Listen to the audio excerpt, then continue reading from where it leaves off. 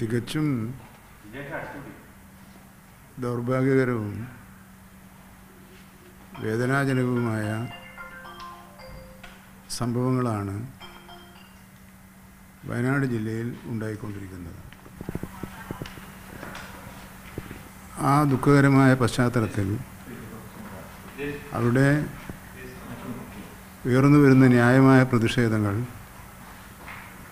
സാധൂകരിക്കത്തക്ക തന്നെയാണ്. എന്നാൽ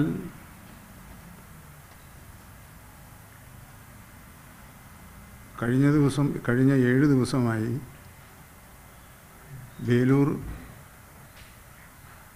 എന്ന പേരിൽ അറിയപ്പെടുന്ന കാട്ടാനയെ പിടികൂടുന്നതിന് വേണ്ടി അശാന്ത പ്രസം പ്രയത്നത്തിലാണ് വനം വകുപ്പ് ആകെ ഏർപ്പെട്ടുകൊണ്ടിരിക്കുന്നത്. ആ ദൗത്യസംഘം അതിന്റെ ശ്രമങ്ങൾ അവിശ്രമം തുടരുകയാണ്. എന്നാൽ അവരുടെ ദൗത്യ ശ്രമങ്ങൾ ഇതേവരെ വിജയിപ്പിക്കാൻ കഴിഞ്ഞിട്ടില്ല എന്നതൊരു വസ്തുത തന്നെയാണ്. അതുകൊണ്ട് തന്നെ ആ ശ്രമം തുടരുകയല്ലാതെ മറ്റൊരു പോംവഴിയും നമ്മുടെ മുമ്പിലില്ല. ആരിക്കൊമ്പിനെ സോറി ആ കാട്ടാനയെ എങ്ങനെയെങ്കിലും പിടികൂടുക എന്നത് തന്നെയാണ് ഗവൺമെന്റിന്റെയും വനംവകുപ്പിന്റെയും ഉദ്ദേശം ആ ഉദ്ദേശത്തിൽ നിന്നും ഒരു ഇഞ്ച് പോലും പിന്നോട്ട് പോകാൻ ഇതേവരെ ആരും തന്നെ തയ്യാറായിട്ടില്ല തയ്യാറാവുകയുമില്ല. ഇന്നലെ കേന്ദ്രീകരിക്കുമ്പോഴാണ് ഒരു മനുഷ്യൻ കൂടി കൊല്ലപ്പെട്ടത്. അതെ പക്ഷെ അതിനിടയിലാണ് നിങ്ങളിവിടെ പറഞ്ഞതുപോലെ ഒരു ദാരുണമായ സംഭവം കൂടി ഉണ്ടായത്. അത് ഒരു വനംവകുപ്പിലെ താൽക്കാലിക ജീവനക്കാരനാണ് എന്നത് ഞങ്ങളുടെ കുടുംബത്തിലെ തന്നെ ഒരു അംഗമാണ് എന്ന് വേണമെങ്കിൽ അതിനെപ്പറ്റി നമുക്ക് തോന്നുന്നുണ്ട്. അങ്ങനെ ഒരു അംഗം നഷ്ടപ്പെട്ടതിൽ ഞങ്ങൾക്കെല്ലാവർക്കും മറ്റുള്ളവരെ പോലെ തന്നെ അതിയായ ദുഃഖവും ഉണ്ട്. ആ കാര്യത്തിൽ അദ്ദേഹത്തിന് വിദഗ്ധ ചികിത്സ നൽകുന്നതിന് വേണ്ടിയുള്ള എല്ലാ ശ്രമങ്ങളും ഗവൺമെന്റിന്റെ ഭാഗത്ത് നിന്ന് സ്വീകരിച്ചിരിക്കുന്നു സ്വീകരിച്ചിരുന്നു.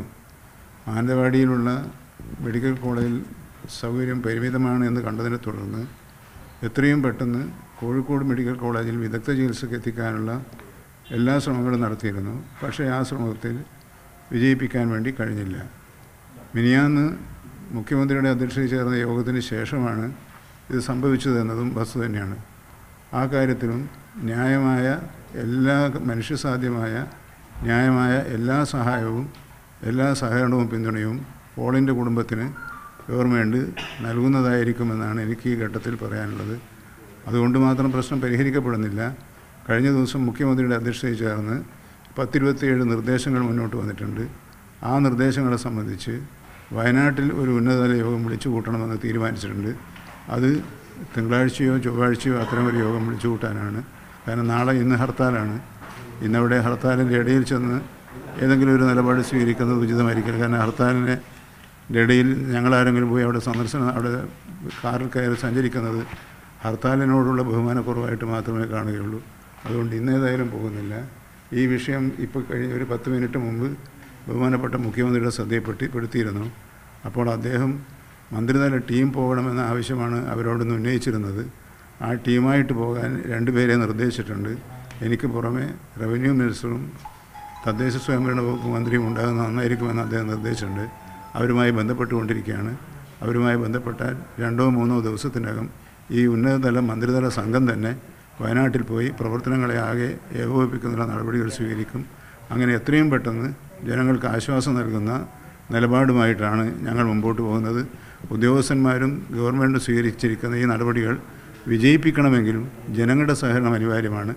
ജനങ്ങളുമായി ചർച്ച ജനപ്രതിനിധികളുമായി ചർച്ച ചെയ്യുമ്പോൾ ആ ചർച്ചയ്ക്ക് ഇനി വിളിക്കുന്നത് ബന്ധപ്പെട്ട പഞ്ചായത്തിലെ പഞ്ചായത്ത് പ്രസിഡന്റുമാരുൾപ്പെടെയുള്ള ഒരു ഉന്നതതല യോഗമാണ് ഒരു വിശാല യോഗമാണ് വിളിച്ചു കൂട്ടാൻ വേണ്ടി ആലോചിക്കുന്നത്. ഒരു കാര്യം ഈ യോഗങ്ങൾക്കും തീരുമാനങ്ങൾക്കും ഒന്നും കുറവില്ല. പക്ഷേ ഈ ദുരന്തങ്ങൾ ആവർത്തിക്കുകയും ചെയ്തു. അപ്പോൾ നമ്മൾ ഇതുവരെ സ്വീകരിച്ച പല കാര്യങ്ങളും തിരുത്തൽ വേണമെന്നാണോ? ഇപ്പോഴുള്ള സ്വീകരിച്ച തീരുമാനങ്ങൾ അല്ലെങ്കിൽ നടപടികളൊന്നും അത്ര പര്യാപ്തമല്ലെന്നാണോ? എന്താ മനസ്സിലാക്കേണ്ടത്? അല്ല. വന്യമൃഗങ്ങളെ പിടികൂടുക എന്നത് എളുപ്പമുള്ള കാര്യമല്ല എന്ന് നമുക്ക് അരി- അരിക്കൊമ്പന്റെ അനുഭവത്തിൽ ഉണ്ടായിട്ടുള്ളതാണ്. കാരണം ഇതിന് പിടികൂടുക എന്നല്ലാതെ മറ്റൊരു പോംവഴിയില്ലല്ലോ മറ്റൊന്ന് അവർക്കുള്ള സഹായധനം ഈ രണ്ട് മാർഗങ്ങളല്ലാതെ അപ്പോൾ പിന്നെന്താണ്? വന്യമൃഗങ്ങൾ കാട്ടിൽ നിന്നും നാട്ടിലേക്ക് വരാതിരിക്കാനുള്ള പ്രതിരോധ പ്രവർത്തനങ്ങളാണ്. ആ പ്രതിരോധ പ്രവർത്തനങ്ങൾ നടത്തുന്നതിനെക്കുറിച്ച് കൂടിയാണ് എത്രയും പെട്ടെന്ന് ചെയ്യേണ്ട കാര്യങ്ങൾ എന്താണെന്നതിനെക്കുറിച്ച് ആലോചിച്ച് അതിനുള്ള നടപടികൾ സ്വീകരിക്കുക എന്ന ഉദ്ദേശത്തോടു കൂടിയാണ് മുഴുവൻ പഞ്ചായത്ത് പ്രസിഡന്റുമാരെയും വിളിച്ചു കൂട്ടി അവരുടെ നിർദ്ദേശങ്ങളും സ്വീകരിച്ചതിന് ശേഷം നടപടി സ്വീകരിക്കാമെന്ന് തീരുമാനിച്ചിട്ടുള്ളത്. അതുകൊണ്ട് ആ യോഗം ഒന്നോ രണ്ടോ ദിവസത്തിനകം തന്നെ നടക്കുന്നതാണ്. മന്ത്രിതല സംഘം തന്നെ വയനാട് സന്ദർശിക്കും. അവരുടെ ഒരു ആവശ്യം അതാണ്. ആ ആവശ്യം അംഗീകരിച്ചുകൊണ്ടുള്ള നിലപാടാണ് ഗവൺമെന്റ് സ്വീകരിച്ചത്.